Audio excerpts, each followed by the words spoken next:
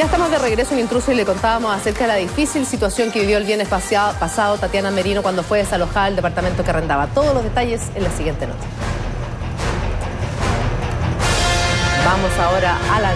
Bueno, lo cierto es que Tatiana Merino arrendaba este departamento hace algún tiempo y hace seis meses, según la información que manejamos, ella no había pagado el arriendo y es por eso que finalmente llega Carabineros y la desalojan, algo que ella no quería porque le habían dicho en reiteradas oportunidades que saliera.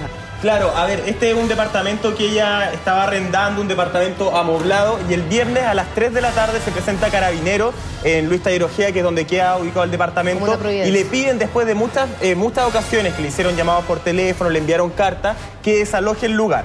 Tatiana en ese momento dice que no, no quiere, y empiezan los hijos a sacar las cosas que eran de ella ropa, eh, hasta un hámster sacan por ahí las imágenes, incluso estuvo presente y empezaron a sacar todas las cosas. Y Tatiana recién a eso de las 10.30 de la noche, ella sale finalmente cuando ya no quedaba nada de ella en el departamento y sale, ¿cierto?, con tapada con una manta porque no quería que la prensa la viera. Nosotros la fuimos a buscar el sábado y está haciendo una obra de teatro en la Florida, la fuimos a buscar, salió por otra puerta porque no quiere hablar con la prensa, no se quiere referir públicamente a esto que imagino que le complicar mucho y dar mucha vergüenza de alguna forma. No es fácil que desalojen a un arrendatario que, no ha pagado, ¿ah? es súper difícil. De hecho, hoy día en, su propia trampa se, se, trata de eso y hay arrendatarios que llevan uno, dos años sin haber pagado las cuentas y a ella las alojaron súper rápidamente. Sí, es que ahora hay una. Yo hablé con Aldo Duque y él me explicaba porque también me, me causaba extrañeza este desalojo que a veces suena como muy rápido, pero hay una nueva ley.